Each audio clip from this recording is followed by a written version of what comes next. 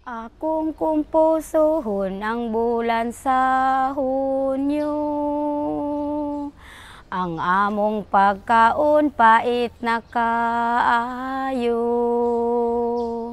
Puto ang pamahaw, putong paniudto Ini pagkahapon, puto lang gihapon. Ang kanta nga kumpuso sa bulan sa Hunyo, nagpakita sa panahon sa kalisod sa kinabuhi sa mag-uuma. Samtang gapaabot sa panahon sa tingani. Sama nining kanta nga adunay panahon nga moagi kita og kalisod sa kinabuhi. Apan kung kamaulang ang tao magkugi og magpasensya sa iyang isig katao, muabot ra jud ang panahon nga mulambo kita.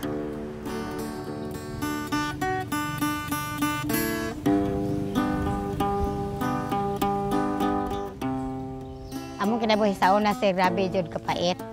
Pero tungod pag-abag sa DSWD sa pantawid namo nga niabot sa mga kinabuhi nahimo nga nakabot na mo ang mga among mga pangandos kinabuhi sa mga anak sa pagpag-eskwela kay sa among panahon sa una sir sa upat na ko ka mga anak amo jud gipangais Ginoo nga unta nilang upat makagrado gyud sila.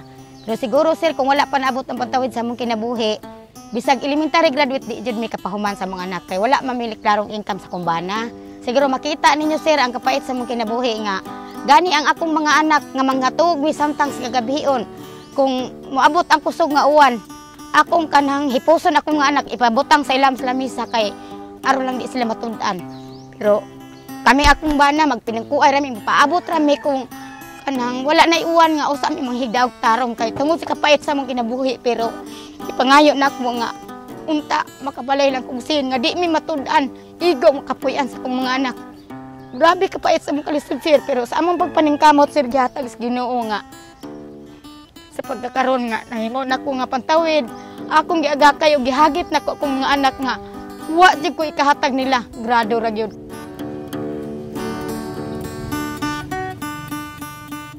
Kamo ug wa mo magkinahanglan grado, akong ginikanan nagkinahanglan ko grado para sa umaabot niyong pamilya nga di mo masama namo. Kay ang among naagian nga kalisod sir, di ko gusto nga maabot pa sa kong anak ang kalisod. Muna nga gibuhat na mo ang tanan pagpaningkamot para lang sa kong mga anak.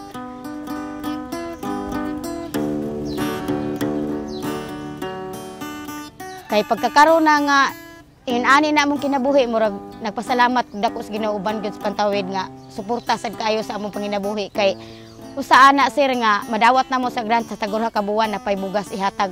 Ang among kinitaan ginagmay sir dili maibanan sa kong pagpaeskwela. Katungod na si porta ang ayuda lang ana sir nga magtarong lang gyud eskwela akong mga anak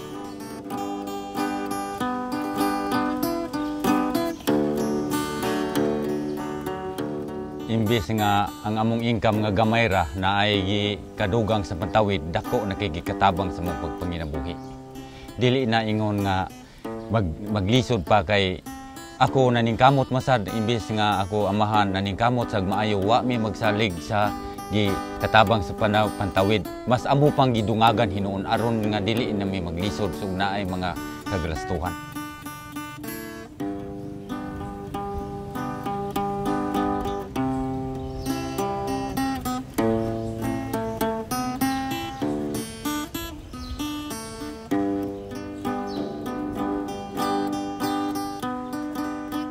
kutob sa among mahimo sir. Amo jung buhaton ang tanan para makabarog mi sa among kagalingon kay dili lang ang akong gilantaw ang akong mga anak napay umaabot na kong mga apo nga akong ginik akong apuhan.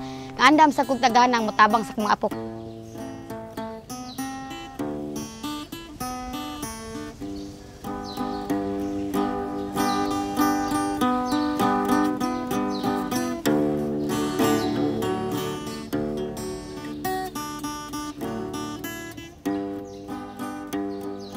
akong tanaw sir, dili ang tanan nasud sa pantawid. Kami nasud mi sa pantawid na human naman mi sa giingon man ni ma'am nga kung naay maha- mahawa nasay mapuli. Base na sir nga ang katong mga sama sad namong tabanganan sa kaniadto nga hantud karon masama sad namo nga masubay og tarong ang ilang mga daan sa ilang pag-eskwela. Kay kung nagkinahanglan ko sir napadyoy labang pamilya sir nga nagkinahanglan pud sila sa tabang.